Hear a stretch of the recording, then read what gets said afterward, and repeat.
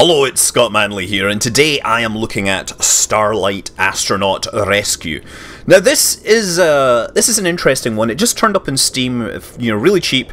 It's basically a 20-minute adventure, but it's actually supposed to be a precursor to uh, the Starlite MMO, which is an educational MMO developed with NASA. I mean, NASA, I think their main contribution is to contribute some of their models and designs that they've talked about.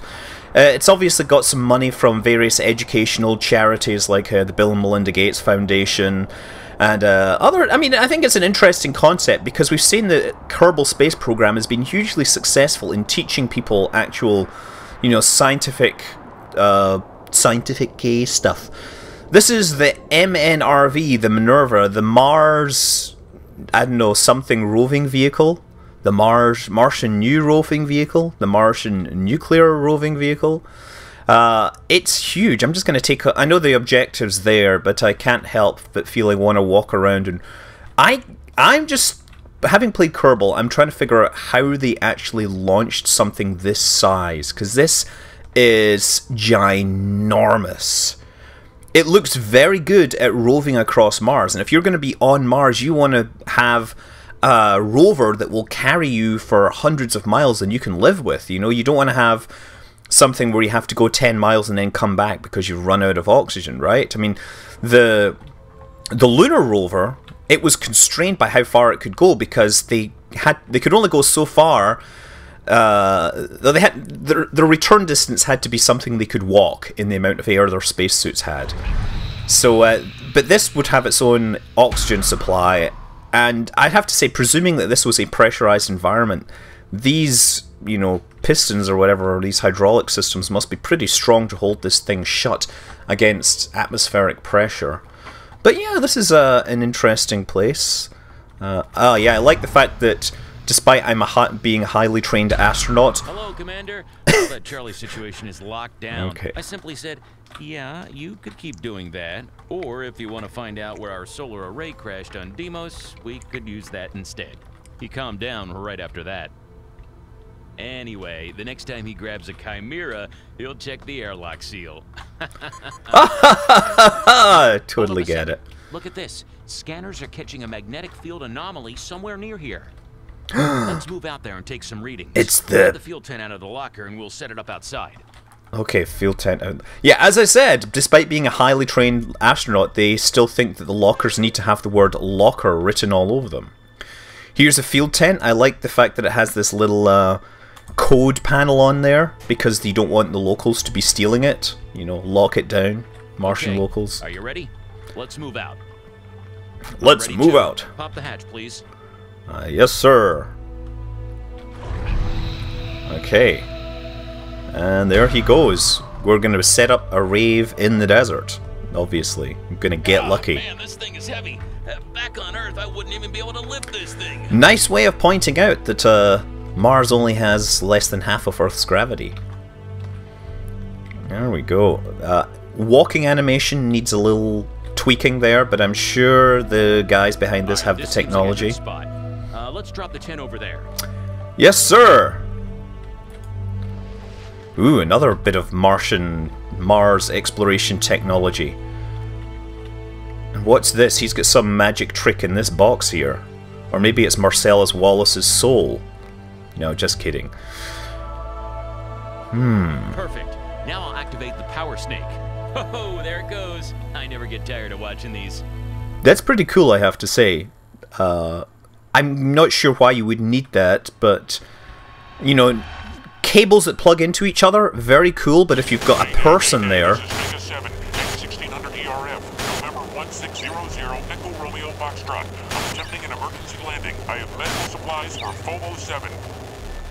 Whiskey Tango Foxtrot! Commander, look. Uh-oh. Not good. That does not sound good.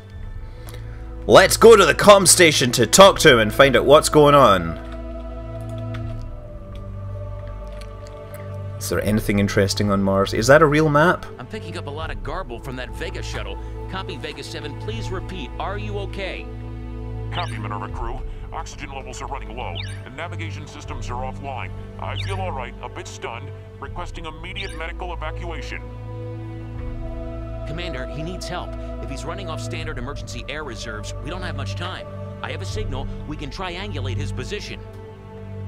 I'll call for a medevac. We'll need to craft a radiometer to locate his landing site. Okay, how do we do that? Ah, emergency supplies. So now we're getting to the rescue part of astronaut rescue. These are pretty snazzy looking spacesuits. So, uh, obviously, if you're looking to have guys that can work on Mars, you need much lighter spacesuits than what we have right now. Okay, so here we go. Open. Grab.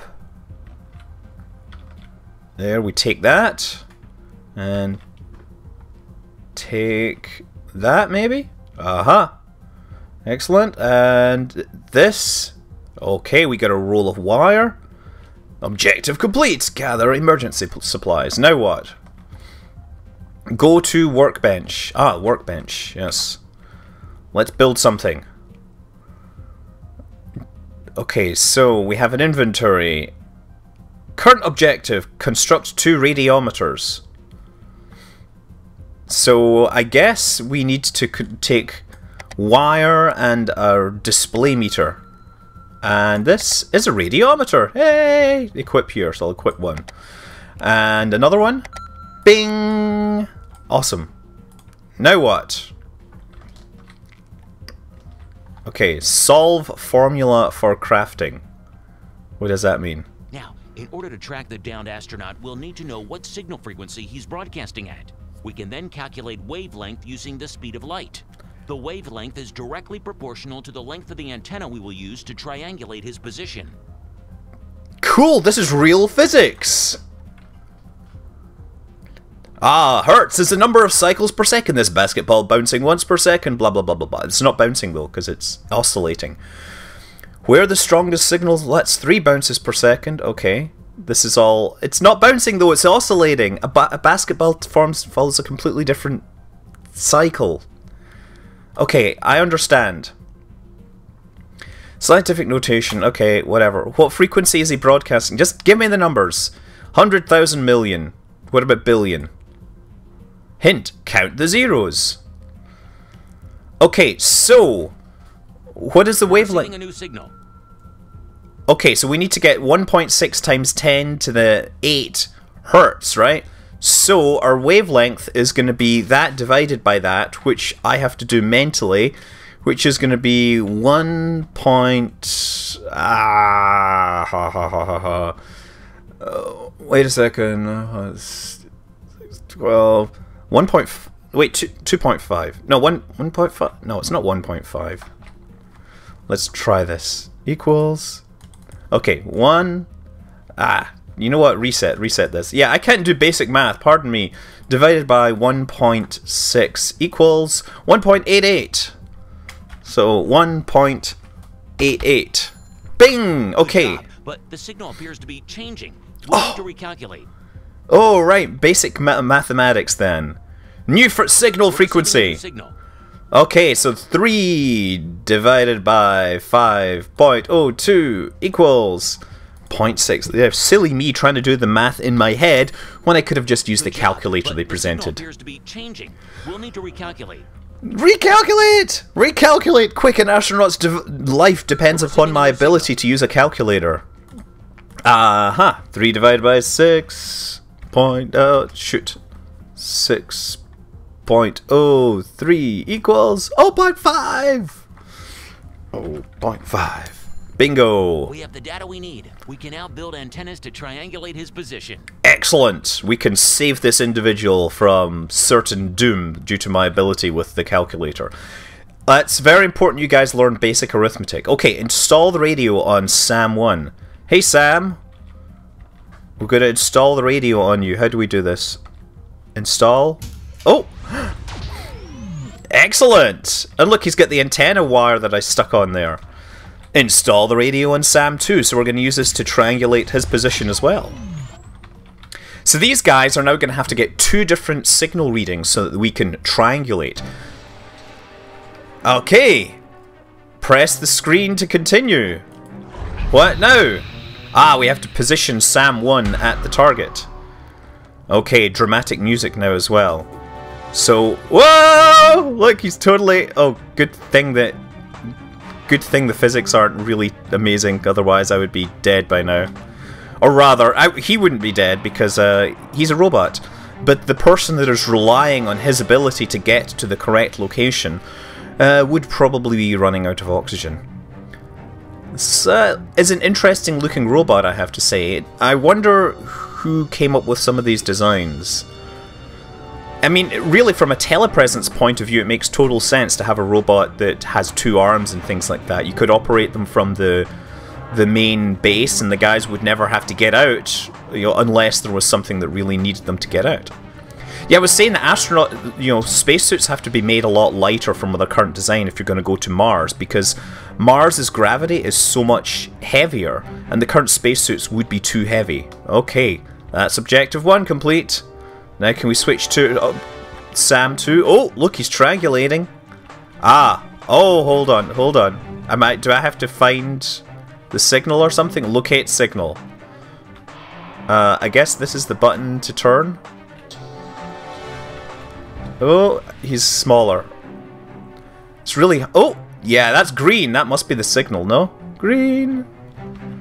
And that's getting yellow. So that's green, green, green. You know, this needs the ability to rotate on the spot. Objective complete. Okay. There we go. So we can now take another one and get a bearing on it. Sam 2, go and do your work. We need to get... Whoa! Yes, yes, no joyriding. No joyriding. No joyriding. This is a serious mission. You're not going to be doing any of that, uh, you know, any sideshows here. Please don't crash into the main legs of this thing. Somebody's life depends upon you. Yeah, so real current spacesuits weigh something like 400 pounds or whatever. The, believe it or not, current spacesuits that are used on the space shuttle, or not the space shuttle, the space station, by for repairs and EVA, are actually a lot heavier than the ones they took to the moon. Uh, you know, despite technology getting better, they've just got bigger and bulkier because they've only ever had to operate in zero G. The ones that had to operate on the moon obviously had to be a lot lighter because the astronauts were, in fact, dealing with a lower gravity environment. Okay, 50 meters away. Moving as fast as these little wheels can carry it. There we go. I can see the see the targeting site. I mean, technically, I should be able to get a get a triangulation point from here, but obviously the game is working with a series of objectives. Okay, position Sam 2 and find the target. Uh, we're getting lighter, lighter? No? No. That's Sam 1. It must be behind those mountains, so it must be over this way somewhere. Dramatic music, dramatic music, dramatic music, dramatic music. Oh, it's getting red! Oh man, it must be... Okay. I guess it must be this way somehow. Yellow, yellow. I I'm clearly unable to do this. I guess it's getting yet more and more yellow, and it's getting red. There must be a green signal here somewhere. Green. I, I'm clearly colorblind like my dad. Come on! I can't believe I can't do this! Almost? Ah, there. Okay, yeah. I was just wait. I was being too impatient. Ah, look at Sam looking back at me. Oh, hey, look, we've triangulated the position, therefore we know the distance. Although, to be fair, if it was a crashed spaceship, it was probably leaving a smoke trail, and we could probably use that just as easily.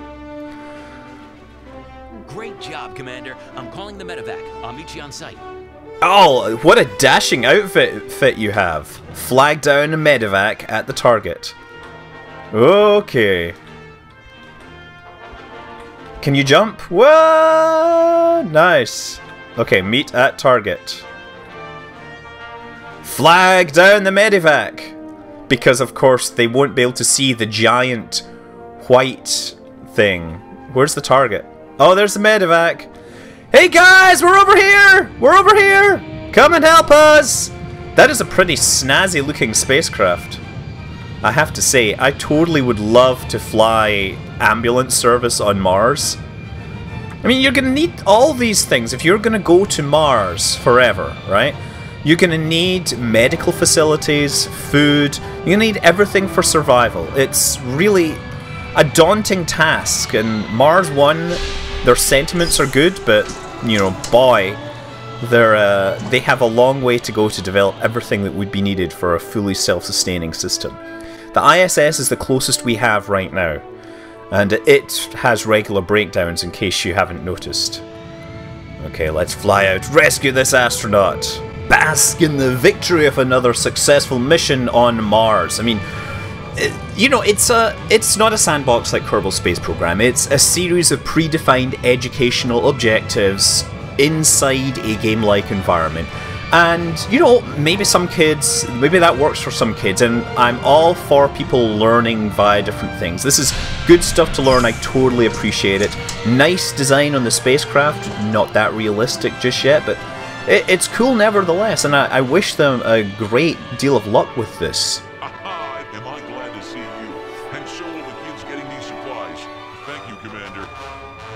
Thank you, mission successful.